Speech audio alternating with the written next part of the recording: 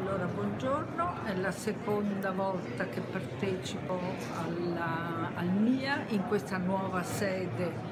che dà la possibilità al pubblico di visitare, di vedere praticamente tutto con grande facilità perché è organizzata benissimo e lo spazio è molto invitante. Vengo di nuovo con, ripropongo un mio architetto pittore che si chiama Marco Palmieri e una giovane fotografa che vive in Irlanda, che non, mai, non lascia mai l'Irlanda e che lavora con la natura e l'acqua quindi fotografa la, la, la, natura, specialmente quella che appare a fior d'acqua e soprattutto sott'acqua. Quindi è un discorso molto poetico, anche se mh, accattivante, certo, i fiori, l'acqua. Eh, sono anche molto decorativi, ma c'è una bella, una bella idea. L'altro fotografo è Marco Palmieri che conosco da anni perché ho cominciato a fargli delle prime mostre eh, di acquarelli. Eh, comunque lui è architetto, viene dalla scuola di Ettore Sozzas, è stato con lui eh, gli ultimi sei anni e mm, da poco, forse da due anni o quasi tre, che fa delle foto costruite in un modo molto particolare e anche molto poetico, c'è sempre in queste sue immagini la sorpresa, l'attesa, il silenzio, tutti questi sentimenti, eh, specialmente in quest'ultima collezione che si chiama Standing on the Beach e quindi il silenzio della spiaggia che potrebbe essere una spiaggia nota o una spiaggia dei sogni, c'è sempre questa silenzio, queste, questo spazio che attira veramente tantissimo, tutti i passanti, tutti i visitatori del MIA si fermano qui e chiedono la tecnica, come realizza, dove si trova ed è invece un'architettura secondo me quasi dei, dei sentimenti. Questa ed è recepita molto bene, per cui l'ho fatto vedere anche per due edizioni ad Artissima a Torino e questa è la seconda volta che viene qua. Innanzitutto i quattro artisti che eh, stiamo presentando sono tutti quanti di origine medio orientale, se vogliamo definirli così. Infatti abbiamo tre artisti iraniani e un artista turco eh, abbiamo un 50% di presenze femminili, infatti abbiamo due gentili signore e, eh, anzi pardon, abbiamo tre e due e due esattamente, due gentili signori e due gentilissime signore. Il filo logico che unisce eh, tutte queste rappresentazioni artistiche è dato dai problemi fondamentalmente tipici medio orientali quindi la guerra, quindi la globalizzazione che va a incidere sulle culture locali fino praticamente a spazzarle via e molto spesso anche la condizione femminile che in determinate culture particolarmente tradizionaliste impone un ruolo esclusivamente domestico alla figura della donna. Quindi sono opere anche molto coraggiose perché tutti questi artisti vivono ancora eh, nei paesi di origine e quindi si espongono molto spesso a delle critiche anche abbastanza dure o ad altro ancora peggio.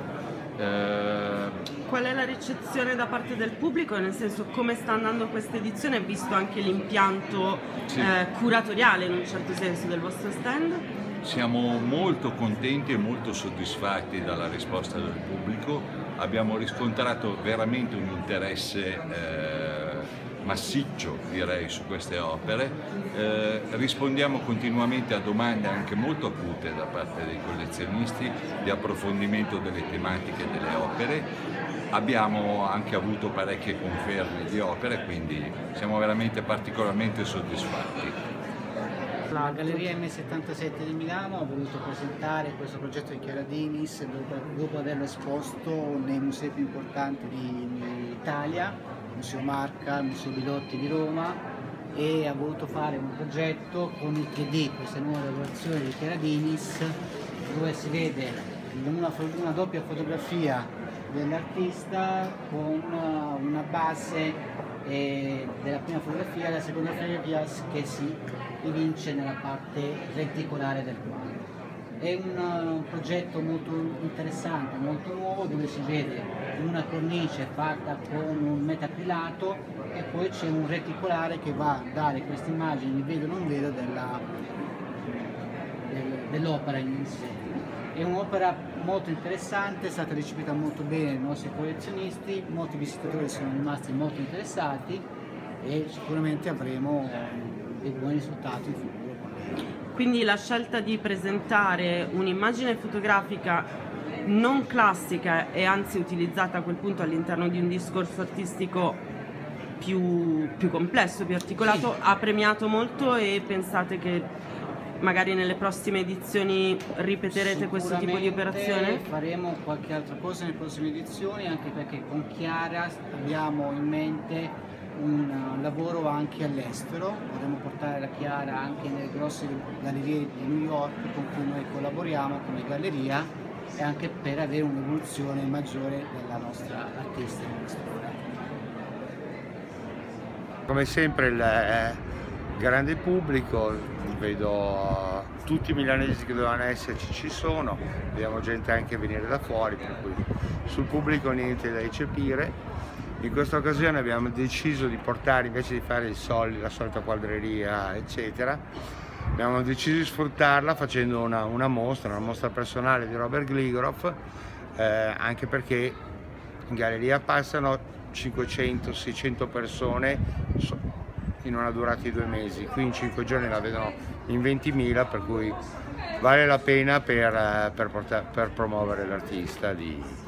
Reazioni fare... diverse degli addetti ai lavori del pubblico? Uh, addetti ai lavori sono tutti, sono tutti complimentati, il pubblico chi è abituato a vedere uh, lavoro concettuale ha apprezzato. Eh, I nuovi sono rimasti un po', un po' scioccati da alcune immagini un po' forti. Comunque tu, tutto sommato soddisfatto del risultato. Ma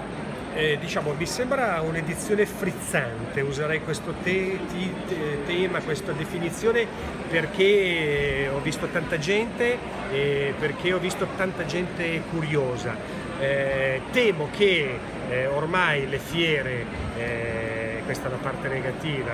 eh, siano diventate delle occasioni per visitare delle mostre e che quindi si aprono sempre di più al grande pubblico che con un biglietto tutto sommato eh, non, è, non, esagerato, ha la possibilità di stare in un posto meraviglioso come questo e vedere eh, un impianto espositivo veramente ricchissimo. Eh, I collezionisti latitano, eh, ma latitano non credo diciamo, per eh, diciamo, responsabilità imputabili soltanto alla fiera. Evidentemente i collezionisti che vogliono comprare la fotografia di qualità non transitano dall'Italia, questo è il vero dramma e quindi credo che l'impegno eh, di tutti noi galleristi, di tutti noi operatori. E naturalmente di questa fiera che ormai è diventata una fiera fondamentale deve essere quello di riportare eh, i grandi collezionisti italiani e stranieri nel nostro paese perché di qua non passano e non compra nessuno. Ma questo è un problema che riguarda il governo, che riguarda le tassazioni, è un tema veramente complesso di politica, di politica culturale, di strategia culturale che non possiamo certo risolvere in questa intervista, però io sono diciamo, grato all'organizzazione del MIA perché ci crede continuamente, perché ci dà la possibilità di avere un palcoscenico come questo nel bene o nel male, però noi ci siamo e vogliamo sostenere queste iniziative, vogliamo sostenere questa città che è sempre più bella, sempre più affascinante e che noi amiamo sempre di più.